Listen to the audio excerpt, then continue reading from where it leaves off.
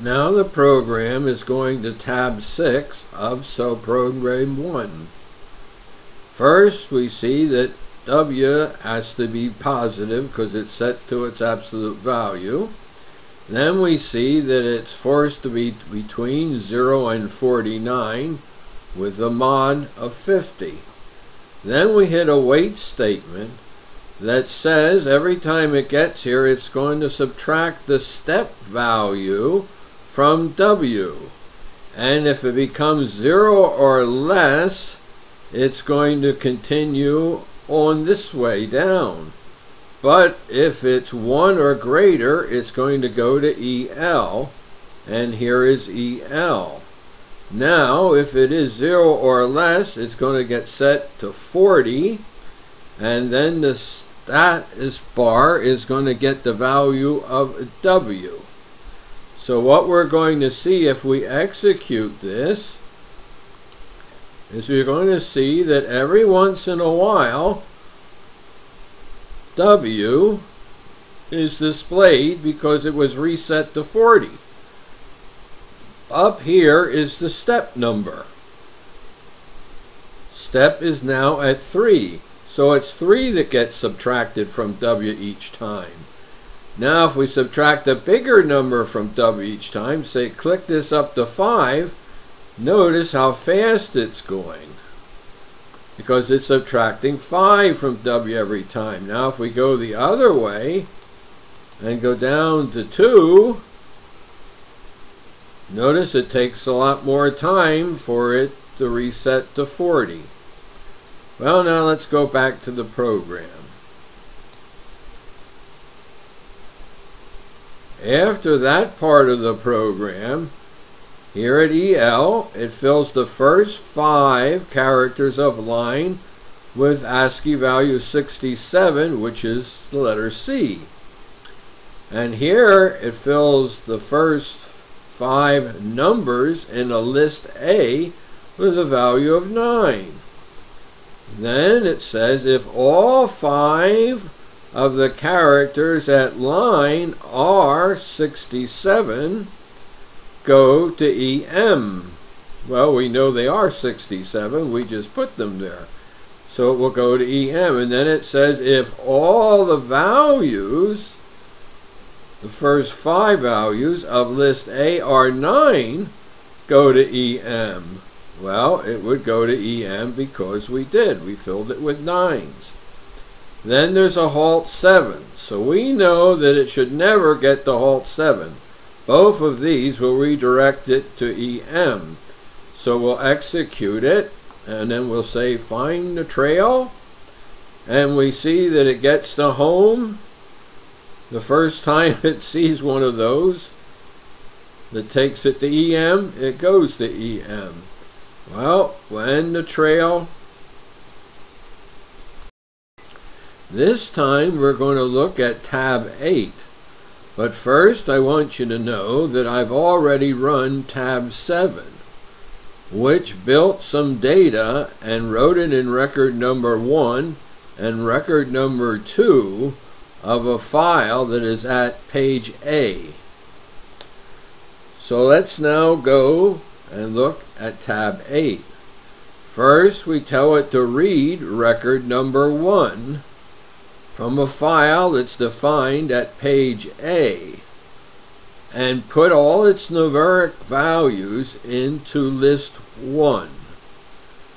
Then we say here, go around a for next loop five times. Well, you see a 4, but it goes 0, 1, 2, 3, 4, which is five times and each time put on the status line the value that you found at list 01. Then do the same thing after you read record 2. Here's the 2. The name of the file's at page A. Put the values in list 01 again. And then for i equals 0 to 4, adding 1 each time, show the value of list 01 plus i and then go home. Now we'll execute it. what we see is the first time it read the record, which is record number one, it found five values. Each one of them was one.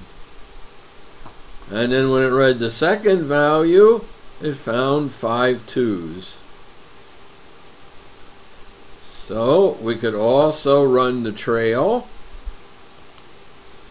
We'll see in the trail that this is, it was told to go to tab 8, and it did. It went to tab 8, read the record, went around the loop and put the five values on the status line, and then it read record number 2 and did the same thing. Yeah, record number 2 is going around and writing them again. Notice it takes more instructions to go around and do all of them.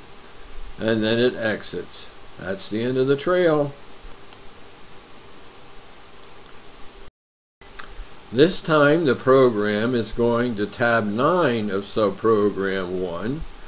The first instruction it executes in the routine is note 2, which means to display note 2 in the note box so here we're going to go down here and look at notes 1 through 5. And yes, we see note number 2, first line is this is note number 2. Second line, it was requested by subprogram 1, tab 9.